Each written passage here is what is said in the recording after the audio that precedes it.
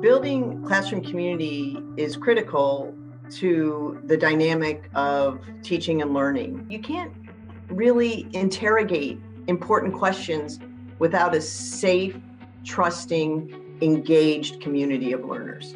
If you're surrounded by your classmates who you don't know, even saying anything in a public setting can be quite daunting. But when your peers know each other and when we all know each other in the classroom, the pressure comes off a little bit and you can we can just focus on that inquiry and that curiosity I don't ever want the students to feel like they can't be wrong in class. I feel that sometimes they feel that, oh, no, you know, if I have the wrong answer, it's a disaster. But if you have the wrong answer, that's normal. It's very important for us as educators to create those brave transformational spaces where students learn by asking questions and where they're not fearful to ask questions. You can't uh, provoke student engagement in ways that are not more uh, perhaps organic, allowing the role of the professor to foster the engagement over time. And the ultimate goal is trust building, but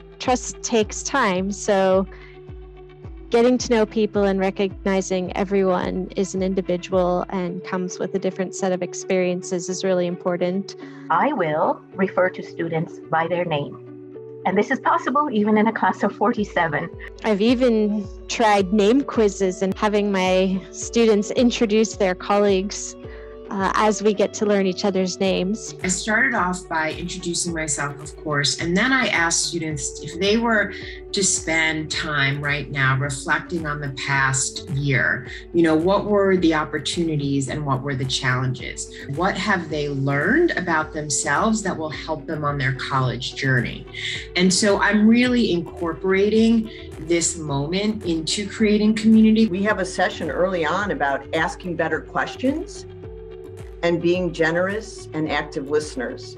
We do a lot of think, write, pair, share. So they have opportunities to gather their own thoughts before they they share them out. One word that I've encountered recently is this uh, the notion of presence.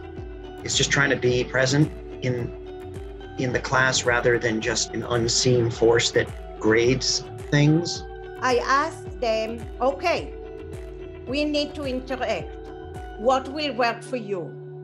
I do not prescribe, I invite. It's just an unfolding that's really a beautiful part of the trajectory throughout a, a semester.